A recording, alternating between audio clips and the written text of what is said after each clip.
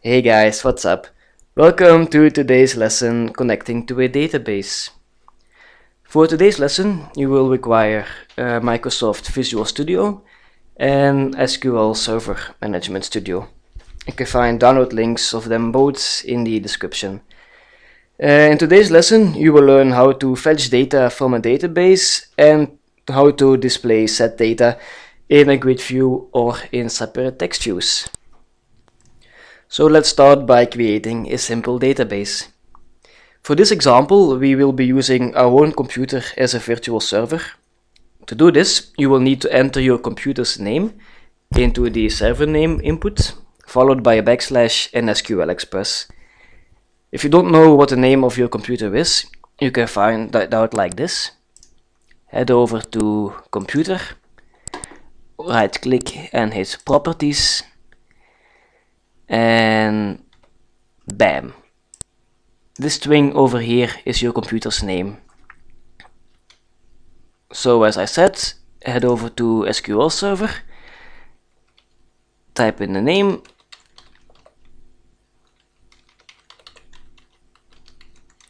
backslash SQL Express. Uh, make sure that the authentication is set to Windows authentication and log in using the same credentials as you would use to log into your Windows session. Head over to the Databases tab and right click it, select New Database.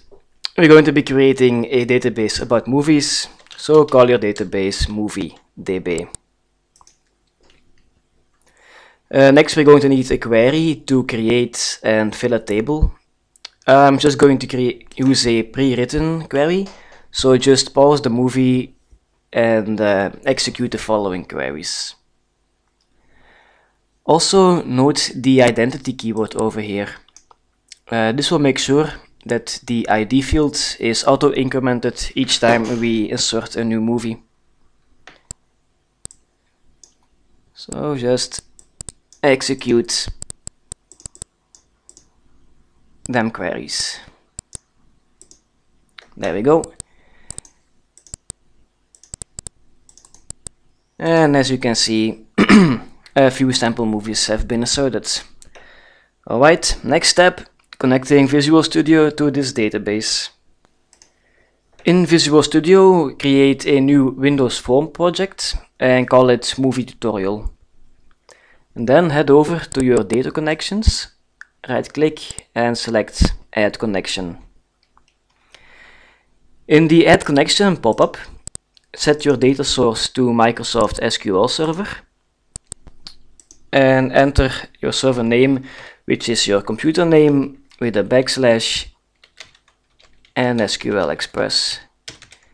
Windows Authentication and select our newly created movie database from the drop-down list. If you want to display large amounts of structured data, akin to an Excel spreadsheet, a grid view would be the best solution. They're also the easiest type of data containers to set up, so we're going to start off by displaying all the data found in a grid view. So in your toolbox, select a grid view, there under the Data tab. There we go, Data grid view and drop it on your form. Uh, uncheck the adding, editing and deleting checkboxes. And hit the little arrow on the top right. And um, in the choose data source drop down list click add project data source.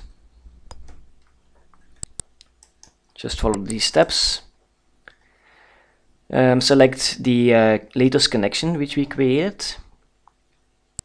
Expand the connection string tab and uh, copy copy the connection string. We're going to need it later. That's fine. Expand the tables tab, movies, and select everything. There. That is, that is going to display all the data found in the database. So I'm just going to expand this a bit. There we go. So if you run your project now, you will notice that all the data found in the database is being displayed in this grid view. There we go. Next we're going to display our data in separate text views. So add four labels and four text views to your form, like this. And call your text views text title, text director, text genre, and text release. Um, to keep matters uh, organized, we're going to need a new connection. We're going to add a new connection class to our to our project. This connection class will uh, contain all the code that is needed to fetch data or modify data in the database. So in your Solution Explorer, add a new class and call it connection. The first thing this class is going to need is a connection string.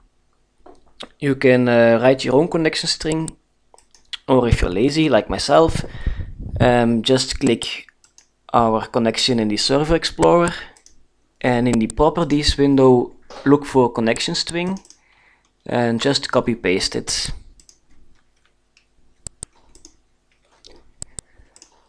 So string connection string equals BAM.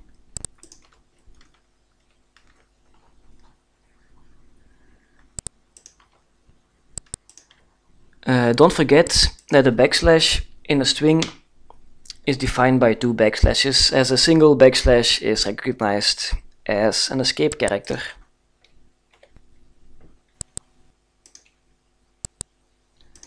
So next create a new function that returns an array list called get all movies with an int for input. In this function define a new SQL connection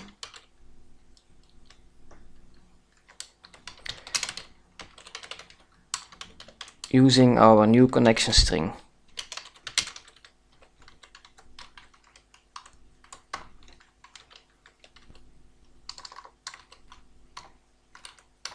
Cool. Um, open and close the connection. And between those two, define a new query. This query will simply um, fetch all the data from table movies where id equals input id. Right. Have to concatenate the strings. There we go. Then use another using and this one is going to use an SQL command. And this command will use our query and our connection. Uh, since this function um, reads data, we're going to need an SQL reader and have it execute our SQL command. Command dot execute reader. There we go.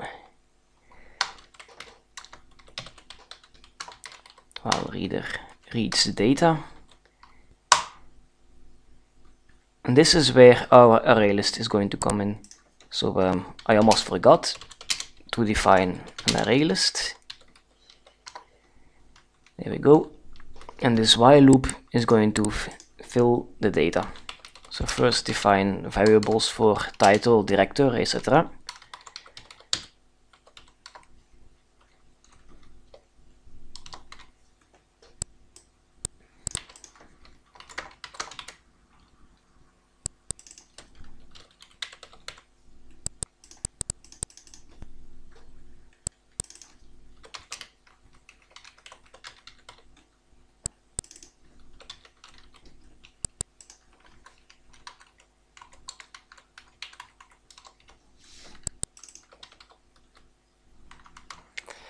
There we go. That fetches all the data. Now add it to the list.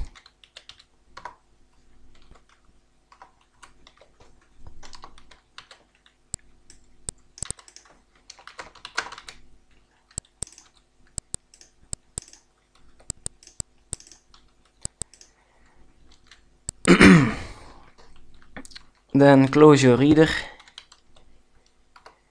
and return the list.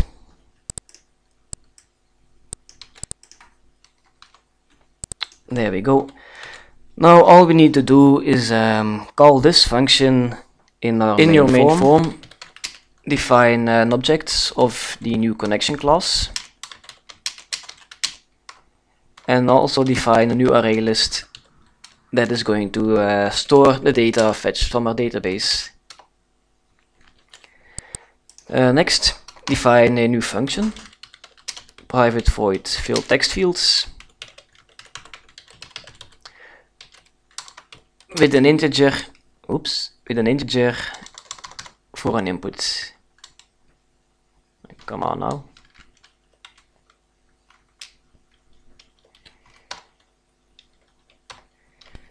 Um, first fill your uh, new array list with the data from your connection class and display the, the retrieve data in text field. To do this, enter the name of text field and call its text property and set it to list open array index number dot toString and that's all there is to it. So do that for um, all the text fields.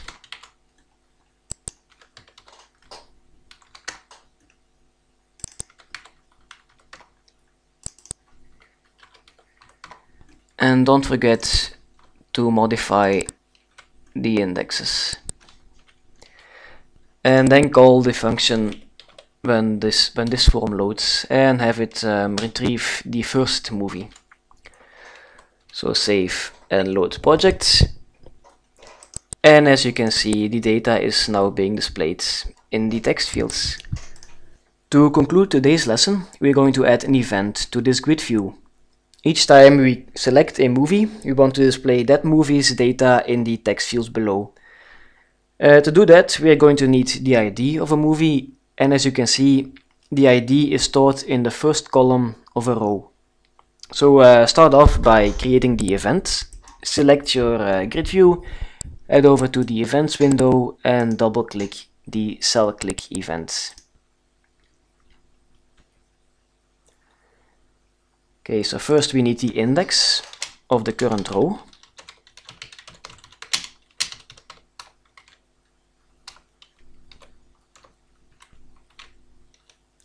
There. That gets the index. Uh, now that we know which row has been selected, we can get the value of the first cell of that row.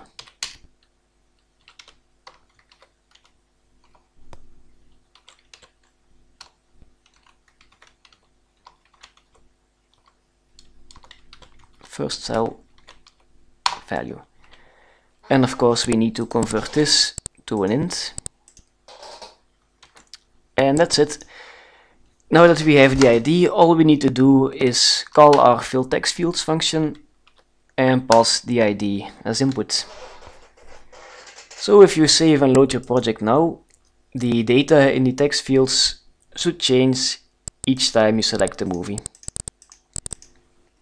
That sums up today's lesson. If you have any further questions, feel free to ask me them in the comment section below or if you have any further questions, you can also visit my website. There's a written tutorial there of today's lesson. So, I um, hope you found this lesson interesting and I hope to see you again for our next lesson in which we will learn how we can manipulate this database using insert, update and delete statements using this form.